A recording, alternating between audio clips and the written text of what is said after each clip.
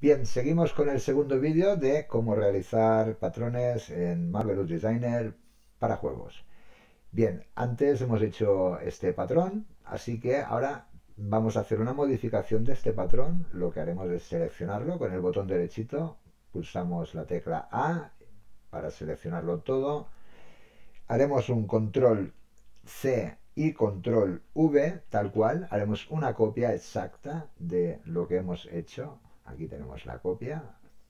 Y volveremos a hacer lo mismo. Vamos a hacer, simplemente tenemos que pulsar control V y pues la ponemos aquí. Perfecto. Así ya tenemos otra copia más.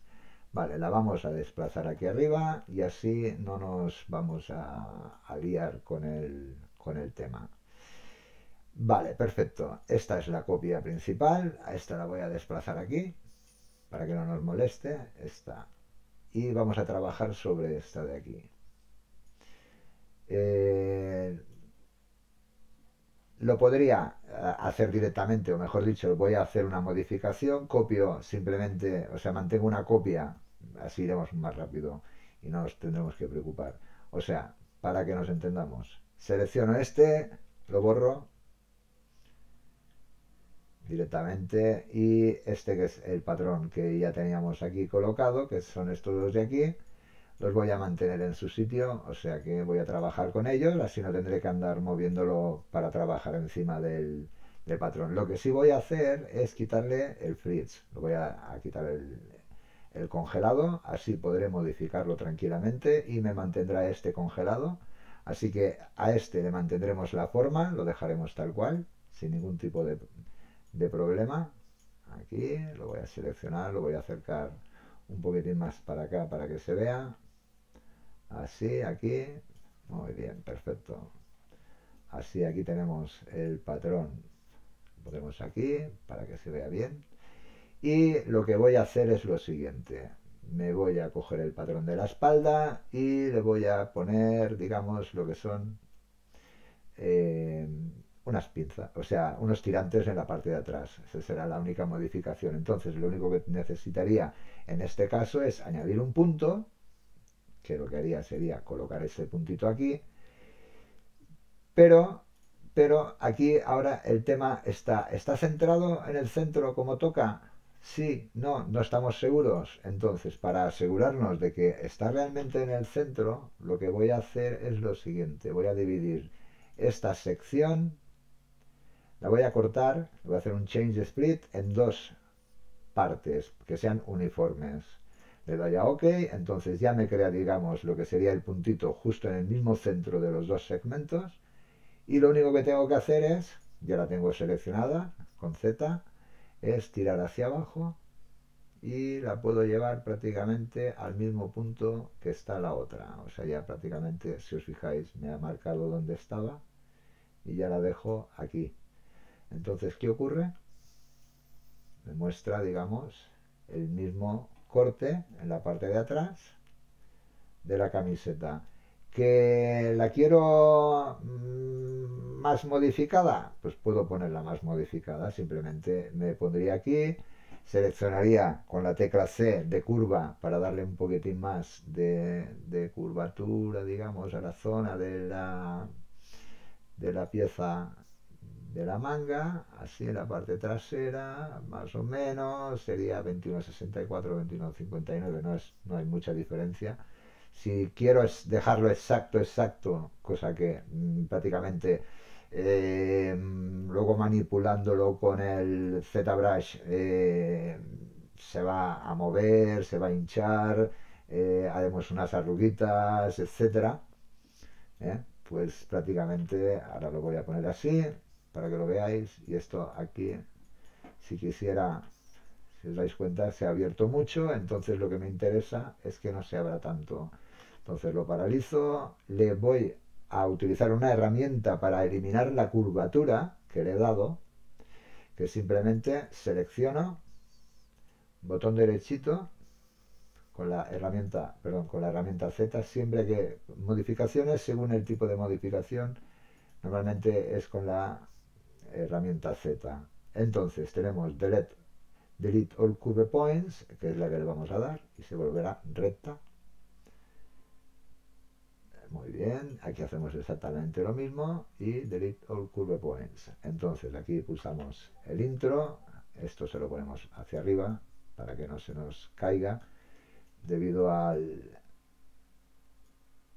a la presión que, ejerce, que es muy poca en la parte de las mangas. Aquí esto podríamos arreglarlo eh, yéndonos aquí al presur, que le podríamos dar un valor negativo, porque si le doy positivo, fijaros lo que hace.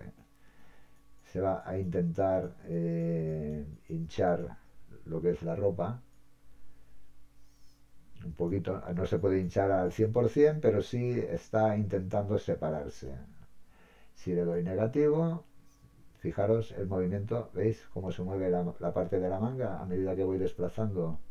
Entonces aprieto así un poquito más, esto se queda un poquitín más pegadito al cuerpo, entonces tengo que moverlo un poquito así, no quiere ir mucho, pero bueno, más que nada porque la chica no está, no me acompaña, digamos, en la posición de los brazos, entonces me molesta un poquito, digamos, el tema de, sujetarlo bien. Entonces, vale, lo paralizo ahí. Y ya tendríamos la parte de la espalda, esta punta de aquí que está muy abierta y tal, pues se podría, se podría mejorar, se podría mejorar colocando supuestamente eh, unos puntitos más aquí, esto es para que no se abra tanto, pero no lo quiero asegurar al 100% porque a veces suele pasar que eh, no, no sale tal y como nos lo pensamos, ¿no? Entonces la solución a esto sería, más que nada, eh, seleccionar la pieza y hacer que sea un pelín más ancho. Aquí esto haría que el, el patrón no quedara tan eh, digamos, tan apretado al cuerpo. Entonces, al no tener tanto apriete al cuerpo, lo que ocurre es que te da más eh, soltura a la hora de eh, darle, de ponerla en su sitio, digamos, ¿no? Esto a veces cuesta un poquito, pero bueno, es, es, es así, ¿no? Vale, el siguiente paso para esto a veces sería decir, bueno, pues sabéis que la voy a colocar en, en pose de, de P y así me permitirá que los brazos no se me caigan tan rápidamente. Entonces paralizo, digamos, la, las físicas, pulso la tecla espacio y en el tercer botoncito este de aquí, contamos desde arriba, 1, 2, 3, nos ponemos aquí y nos venimos aquí. Pulsamos y automáticamente vemos el esqueleto como está montado por dentro y a nosotros lo que nos interesa es venirnos en la parte de los brazos, ponernos delante y si seleccionamos la azul, pulsamos en la esquina esta de aquí y seleccionamos la azul así, giramos hacia abajo, perfecto, ya está prácticamente. Ahora volvemos al mismo punto y tenemos que tildar otra vez para que se vea perfectamente. Ahora, ahora lo pongo en marcha y a partir de ahora ya no correrá, digamos, hacia abajo, sino que se mantendrá en su punto. ¿Veis? Y así es mucho más fácil poder moverlo ¿eh? en caso de que nos interese que tenga la espalda un poquitín más eh, ajustada, digamos, ¿no? La curvatura, sobre todo. Pero bueno, estas cosas es lo que decimos, ¿no? Eh, se pueden eh, arreglar con trucos, con trucos en el Marvelous, trucos que os voy a, a enseñar más adelante. Vale, siguiente patrón. Para ir un poquitín más de, de esta manera, seleccionamos nuevamente este, control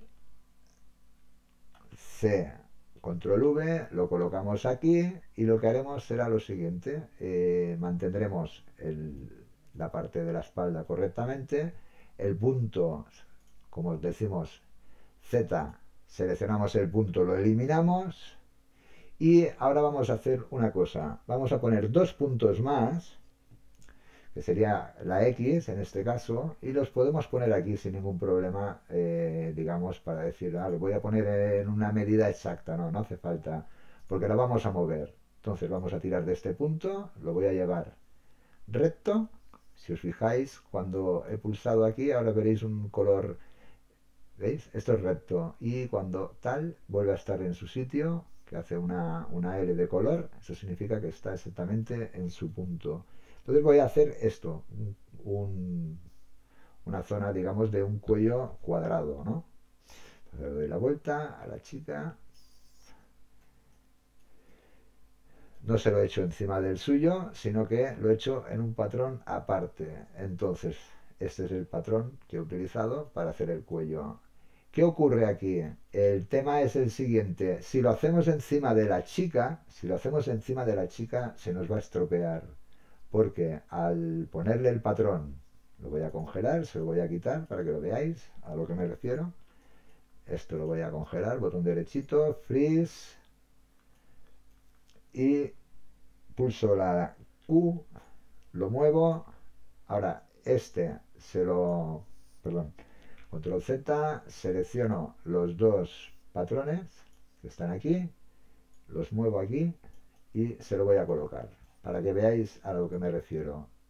Ahora, cuando le coloque las físicas, se va a estropear. Por eso es siempre mejor trabajar con la tela congelada, dependiendo que mm, lo que queramos lograr, ¿no? O sea, más o menos esto se puede mover con el teclado, con las flechas, derecha, izquierda, etcétera. ¿eh? Y lo siguiente es seleccionar los a las dos piezas y decirle que descongele. Muy bien. Ahora, al momento que yo le doy físicas, ocurre esto y se queda bien. ¿eh? En, este, en este caso ha quedado perfecto. Donde no ha quedado bien es en la parte de la sisa que, y esta parte de aquí, por ejemplo, que digamos que se ve, se ve muy abierto. Pero bueno, si esta es nuestra intención, no hay problema.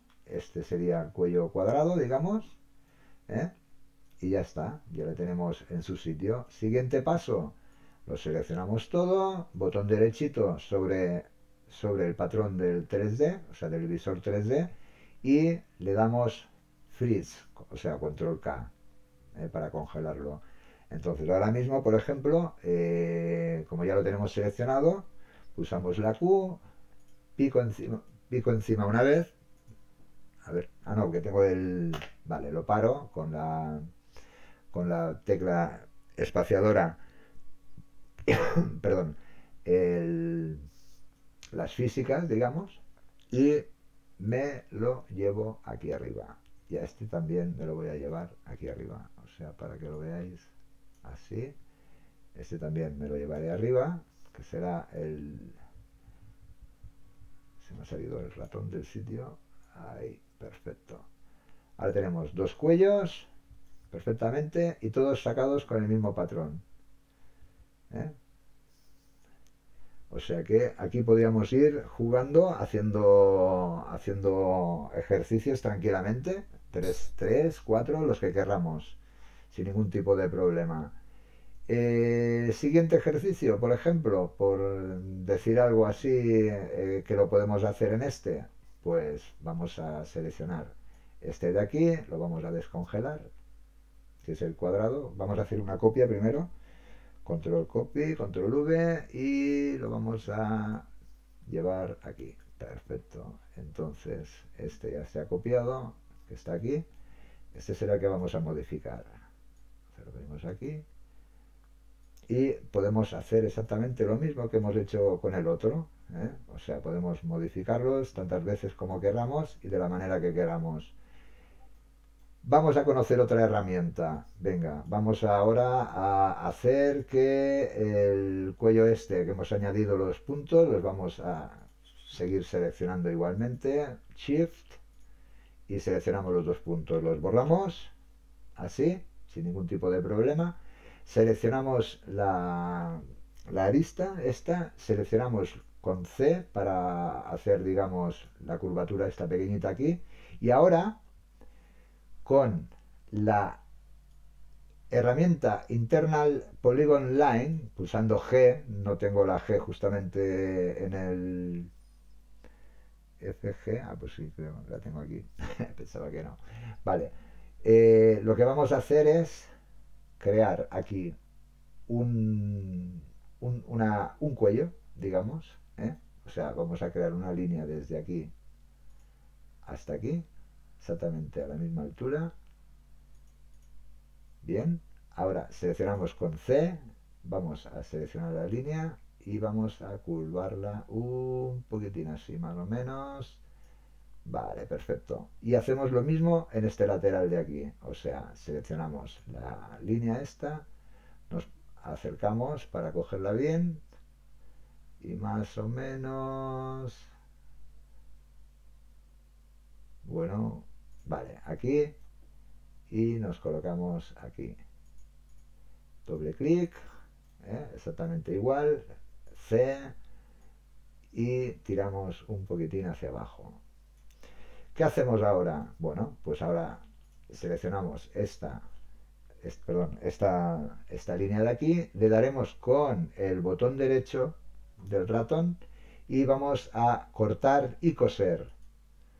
O sea, botón derechito, seleccionamos primero con la, la Z, que es para poderla seleccionar, esta y esta, las podríamos cortar y coser, cut and sew, es lo que vamos a hacer. Están cortadas y cosidas, aunque no lo veamos ahora mismo, pero me acerco y lo vais a ver enseguida. Voy a descongelar, porque es importante que pueda descongelar las, las piezas. Ah, vale, perfecto. Me vengo aquí, pulso la Q, selecciono y le quito el congelado este de aquí y este de aquí, bueno, este lo voy a seleccionar así y ahora sí que voy a descongelar un freeze, queda totalmente descongelada la pieza, aunque no esté bien hacer bien exactamente en su sitio, pero fijaros que esto está, el cuello tiene un corte, esto realmente en, a efectos digamos nuestros, ¿eh? o sea, decir, bueno, pues voy a hacer un cuello y tal, pero recordar bien claro, en el Blender sí lo veréis, sí que lo veréis, que tiene, tiene el cuello este así cortado aquí, pero donde no lo veréis es en Z, es decir, lo veréis cuando lo exportéis, pero cuando le hagáis una subdivisión o un, un ZRemesh va a desaparecer. o sea que lo suyo es que una, la podéis exportar así, pero luego hay que coserlo. ¿eh? O sea, coserlo porque cuando le deis el ZRemesh, lo más seguro es que os lo vaya a estropear. Entonces, para que no os lo estropee, tengo un vídeo, tengo un vídeo donde muestro cómo manipularlo dentro del ZBrush para que no os ocurra esto. Bueno, dejamos el vídeo hasta aquí, ya hemos visto que la costura prácticamente está en su sitio y lo único que tenemos que hacer es pulsar la tecla espacio para que se vaya a su sitio. ¿eh? Luego esto lo podemos ajustar como es lógico para que tenga la misma distancia, etcétera, etcétera. ¿eh? O sea, para que tenga la misma distancia tenemos que venir aquí y comprobar que eso tiene un centímetro con 32 y esta, y esta de aquí tiene 2 2,37 entonces para que esté exactamente igual ya lo sabéis aquí botón derechito y cambiar longitud tenéis que seleccionar hacia dónde queréis que vaya la flecha. Recordad que cuando lo hace hacia, la, hacia el principio, luego aquí lo hará al revés ¿eh? y tenéis que poner la misma distancia de aquí para que las costuras exactamente se avengan. Ojo cuando cambiéis eh, distancias porque a veces, no siempre, no sé por qué motivo, eh, suele ser quizás es un bug, suele eliminar la costura y nos queda más remedio que volverlo a coser. ¿Eh? Vale, dicho esto, nos vemos en el siguiente vídeo y seguiremos aprendiendo a manejar las cuatro herramientas básicas para, eh,